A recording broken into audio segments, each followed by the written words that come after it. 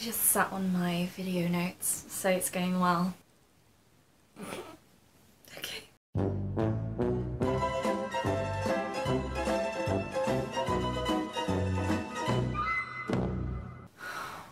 But I like it like this. I'm so sad. I filmed the entire video looking like a rat. And I could have been filming with my hood. Oh, shite. Spoiler alert, she's filming it again. I just filmed this entire video. It's just, the hair is not a vibe. So, I actually can't believe I've done this. Hi friends, welcome back to my channel. no. I haven't filmed a sit down video in so long and it shows because I'm sweating. Um, but hello. Today I thought I would talk about... Oh, good job I have my notes because I literally wrote the title on because I apparently can't remember what I'm filming a video about.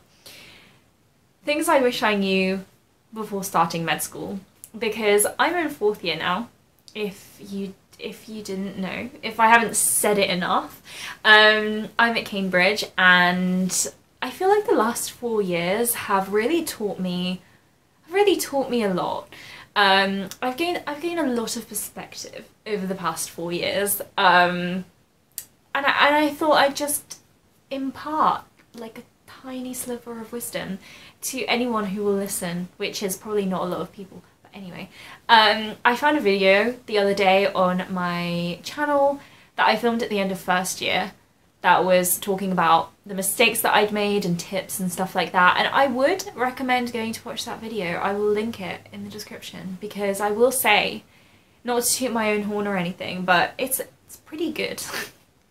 um, but I just realised that now being in clinical school and having had four years, there are there are some things that I still very much would have done differently that I just wasn't even aware of back then. It just wasn't on my radar, and I feel like I should just I should just put it out there. If you're going into med school or you're early on in your med school career, then maybe this will be somewhat helpful, and you won't have to wait until fourth year to realize that actually you should have should have been doing you should have been doing things differently regrets.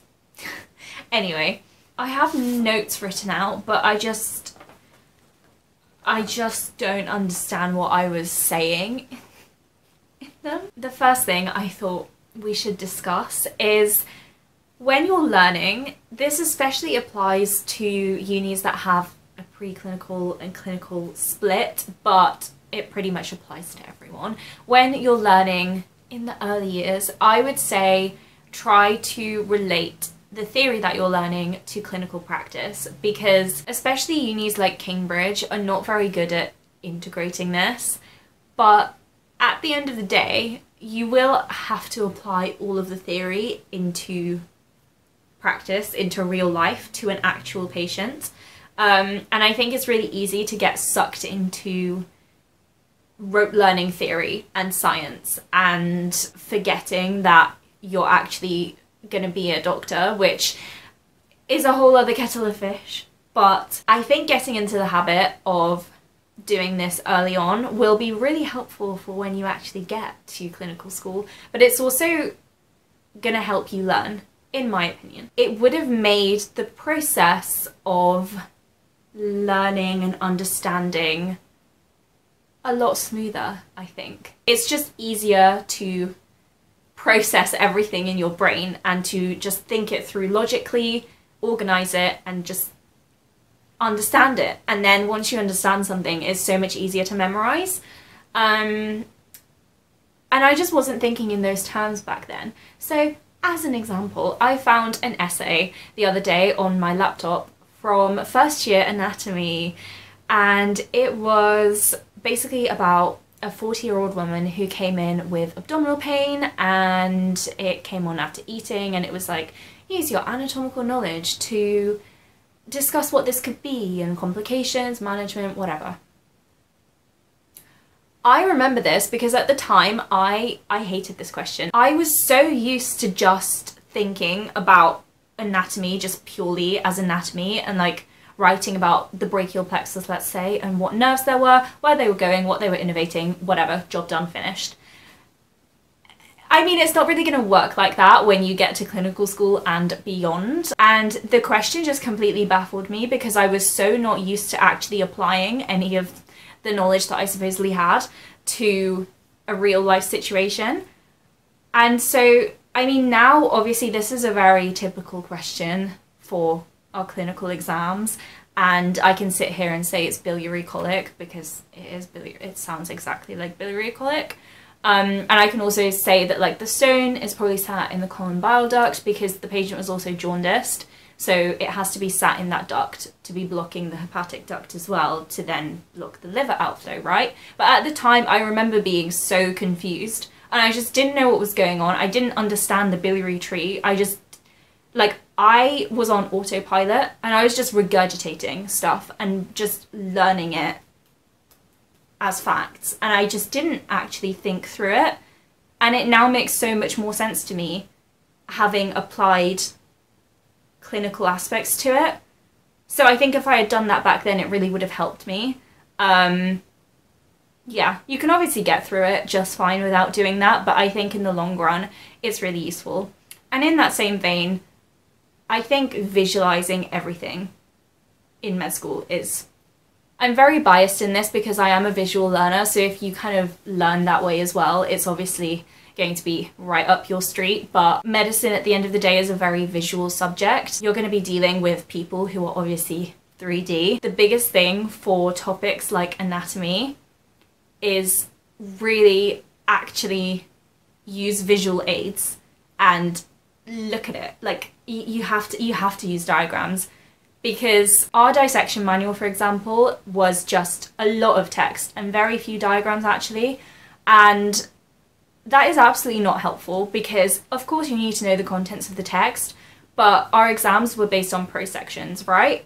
And so if you know like the innervation of every muscle in the body but you can't actually identify the muscle in situ and you don't know where it is, what it looks like, whatever, it's not really going to help you in the exam because you're still not going to know the answer. And on that note, this video is very kindly sponsored by KenHub, which is an online platform that combines lots of different tools for learning human anatomy, medical imaging and histology. Basically something that I wish I had known about when I was revising anatomy in first year, but is something that I will definitely be using now to, I was gonna say go back over stuff, relearn stuff. They have lots of different resources on there. They have detailed articles, videos, interactive quizzes, and high quality atlas images, diagrams, etc. Basically, anything you could want to revise anatomy all in one place which is great because for subjects like anatomy that are so content heavy and so daunting to revise already, having everything in one place is ideal.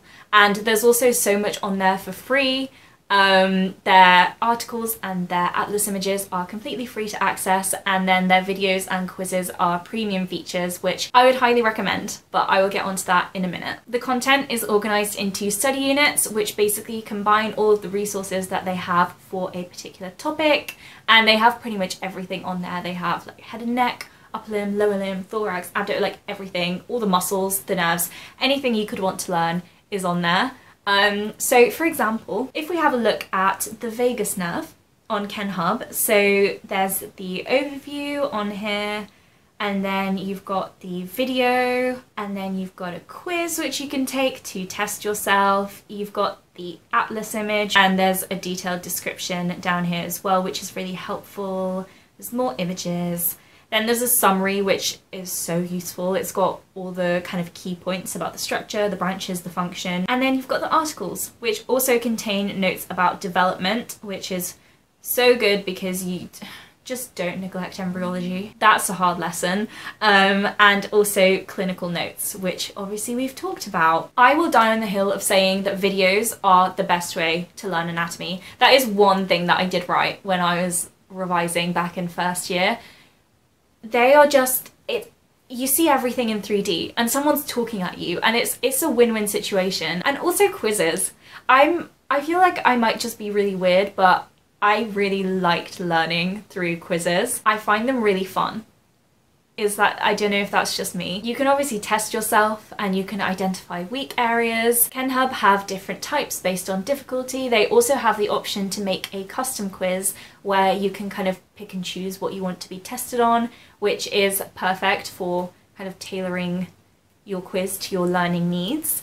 Um, and if all of that wasn't already enough, they also have muscle anatomy reference charts, which are basically summary cheat sheets, which is great, again, for revision.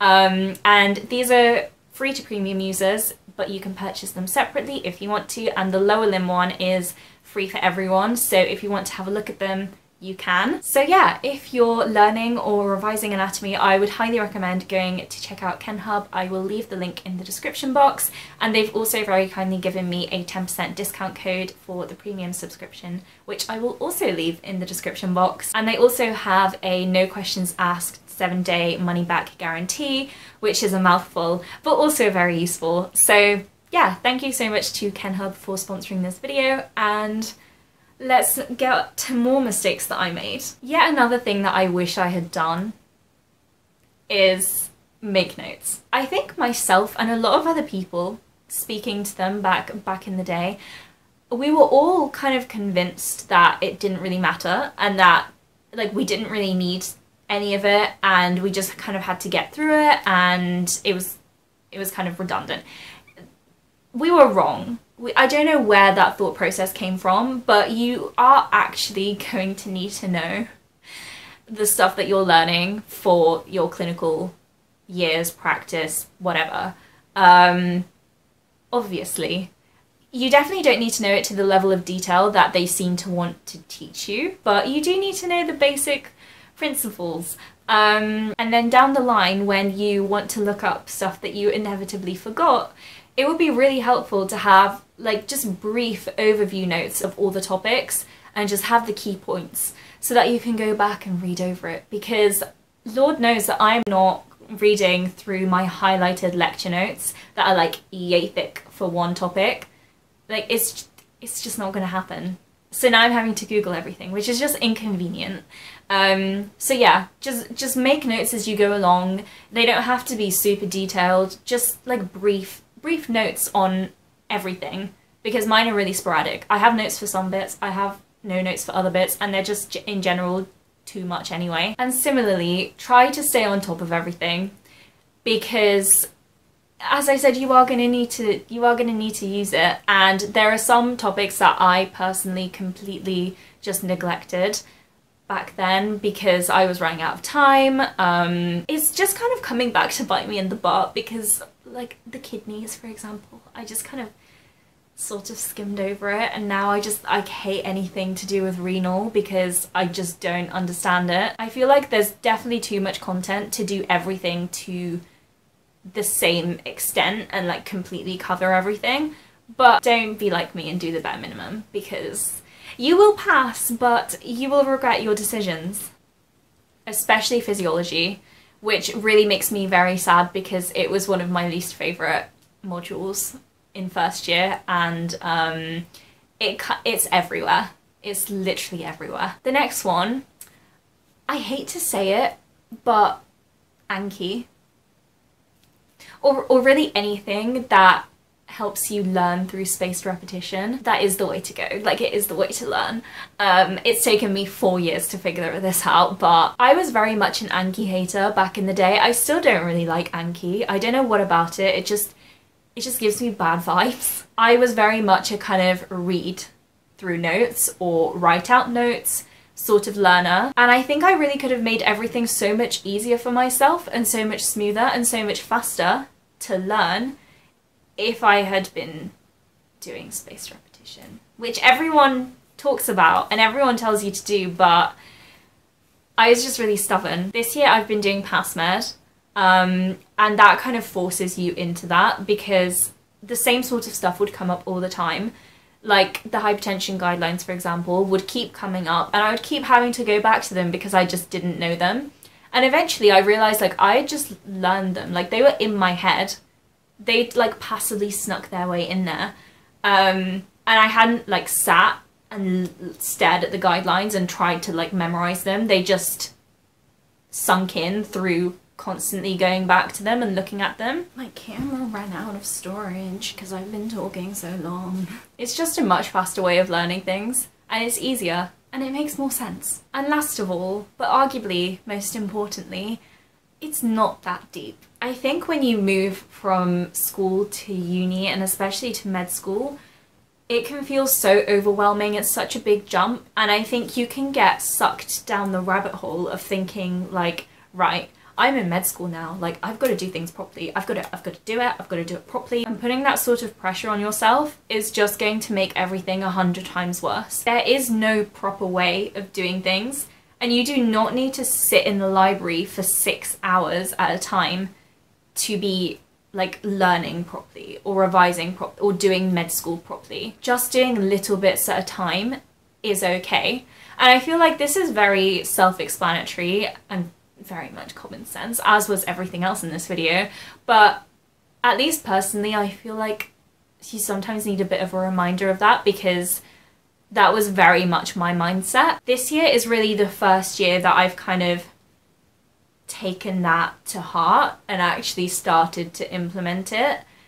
Potent- potentially very accidentally, but um, in clinical school here anyway, you get so much more freedom as to what you're learning and when you're learning, kind of the pace at which you want to do everything. For example, when I was bored of procrastinating, um, in bed and I just went on PassMed and I just did some questions. And yeah, okay, you're not in the library or sat at your desk and like typing out notes from all the questions, but you're still doing something and it's still helping.